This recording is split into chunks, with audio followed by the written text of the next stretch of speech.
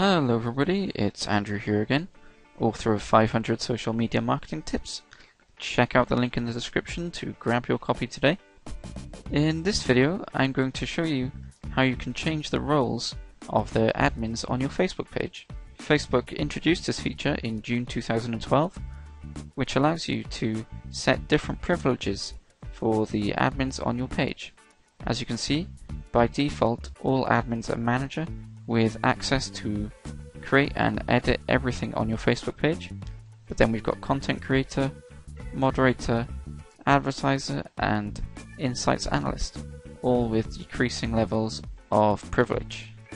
So which one you choose for the different admins on your page, I suppose depends on how much you trust them. You can pause the video now to have a detailed look at the privileges that each role has, but I'm going to switch back to my page and show you how to implement the changes.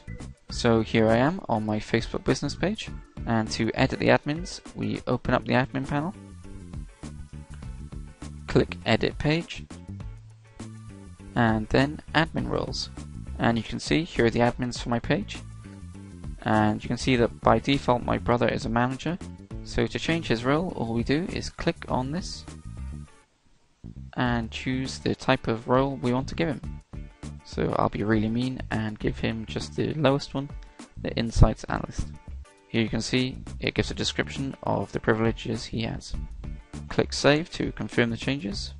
Type in your password.